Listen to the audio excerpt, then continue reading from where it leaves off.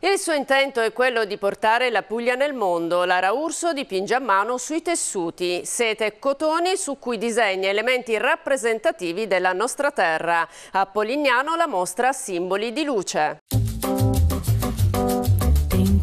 Laureata all'Accademia delle Belle Arti di Bari, esprime il suo talento attraverso simboli associati ad elementi luminosi. Dopo aver esposto i suoi quadri nelle più importanti gallerie italiane, adesso la pugliese Lara Urso è una delle poche artiste che realizza disegni a mano su tela rappresentativi della Puglia. A Polignano la sua mostra Simboli di luce magliette artistiche, ma com'è nata questa passione?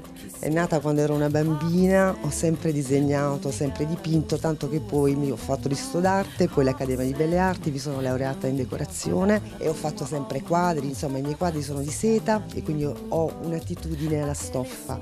E poi a un certo punto ho pensato che siccome volevo rendere fruibile l'arte a tutti, ho deciso di fare delle t-shirt artistiche per poter portare la Puglia nel mondo e quindi quindi eh, prendo dei soggetti della, della, Puglia e anche quindi insomma faccio alberi eh, o realizzo anche soggetti marini come insomma anche in questo caso ho fatto un cavalluccio e mi piace la mia ricerca anche sulla luce quindi ho iniziato anche a, a incollare del, dei cristalli e, e, poi amo il glitter, quindi tutto quello che luccica.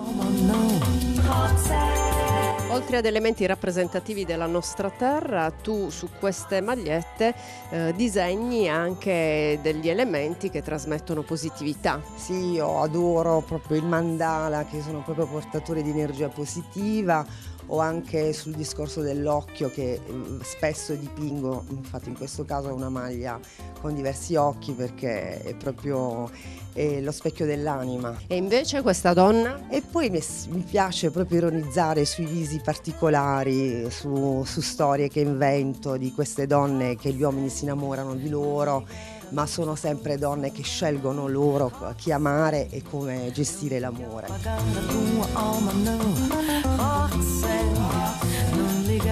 Ed è tutto, grazie per averci seguito, a domani.